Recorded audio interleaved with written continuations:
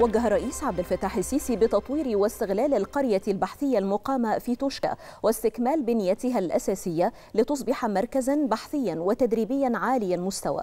يوفر الكوادر المؤهلة للتعامل مع آليات الميكنة الزراعية المتطورة وأساليب الري الحديث. جاء ذلك خلال اجتماع رئيس السيسي مع وزير الزراعة واستصلاح الأراضي السيد القصير وعدد من المسؤولين لمتابعة التوسعات المستقبلية لاستصلاح الأراضي الصحراوية على مستوى الجمهورية. خاصة في منطقة جنوب الوادي بتوشكا وشرق العوينات.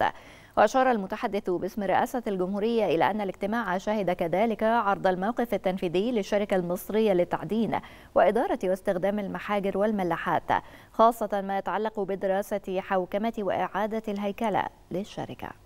اجتمع السيد الرئيس عبد الفتاح السيسي مع السيد السيد القصير وزير الزراعة واستصلاح الأراضي واللواء أركان حرب وليد أبو المجد مدير جهاز مشروعات الخدمة الوطنية واللواء أركان حرب ياسر الجمل رئيس مجلس إدارة شركة صافي واللواء أركان حرب عبد السلام شفيق رئيس الشركة المصرية للتعدين والمحاجر والملاحات واللواء أركان حرب توفيق سامي رئيس شركة استصلاح الأراضي الصحراوية واللواء أركان حرب كرم سالم رئيس الشركة الوطنية للمقاولات.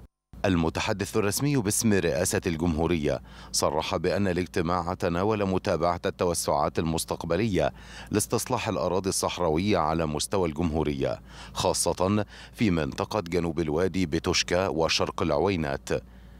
حيث تم عرض الجهود المشتركة لمختلف جهات الاختصاص فيما يتعلق بالدراسات ذات الصلة بمشروعات التنمية الزراعية في منطقة جنوب الوادي والتوسعات المستقبلية المقترحة في هذا الصدد خاصة صلاحية وجودة التربة ونسبة الملوحة وتوفير مصادر المياه وذلك بهدف إقامة مشروعات تنموية مستدامة حول تلك المناطق كذا الاستفادة من الجزء الأكبر من المياه التي تفضل يفقد بها.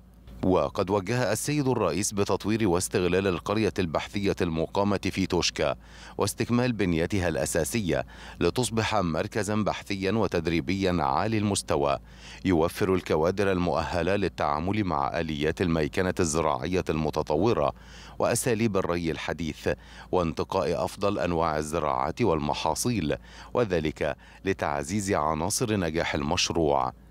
كما تم عرض المشروع الخاص بالزراعة المتكاملة في واحة سيوة حيث وجه السيد الرئيس بتحقيق الاستغلال الأمثل من خلال هذا المشروع للخصائص الطبيعية المتميزة بالمنطقة خاصة عيون المياه النقية وجودة الأرض والظروف المناخية المواتية وذلك بالتنسيق بين كافة الجهات المعنية مع تزويد المنطقة بالخدمات الرئيسية بما يساعد على تنمية المجتمع هناك بصورة بصورة مستدامة.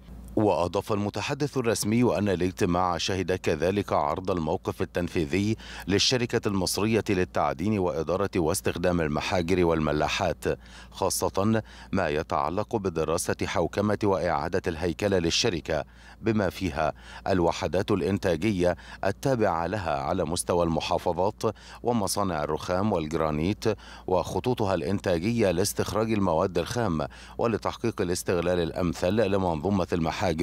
على مستوى الجمهورية فضلا عن زيادة القيمة الاقتصادية للمواد المحجرية المستخرجة. وقد وجه السيد الرئيس في هذا الإطار بأن تساهم الشركة بهياكلها الجديدة في حسن إدارة استغلال الثروة المعدنية في مصر. خلال استخراج المواد الخام وتصنيعها وذلك في إطار استراتيجية الدولة الثابتة للاستفادة من الخامات الطبيعية المتوفرة في مصر بما يسهم في تعظيم قيمتها المضافة لصالح الاقتصاد الوطني والدخل القومي.